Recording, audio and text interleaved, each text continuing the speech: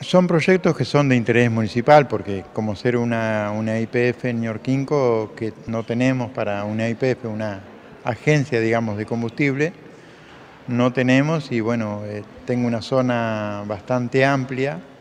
entre parajes y población local, o para misma gente que pasa de, paso, digamos, este, poder brindarle un servicio y bueno, que hoy no lo tengo. Y la idea es... Eh, poder construir una estación de servicio en Ñorquinco. Con respecto a las cloacas, es un proyecto que nació, o sea, se pidió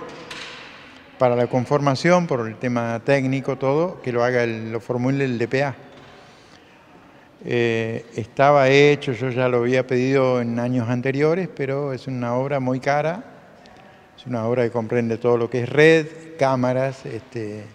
lagunas de, bueno, de, drenaje de las aguas y es un proyecto caro que bueno,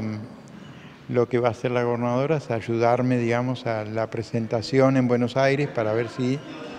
de alguna manera puede, puede salir ese proyecto y bueno, ser una, obra más para Ñorquinco, pero eh, como le digo, es, es difícil el tema por el costo.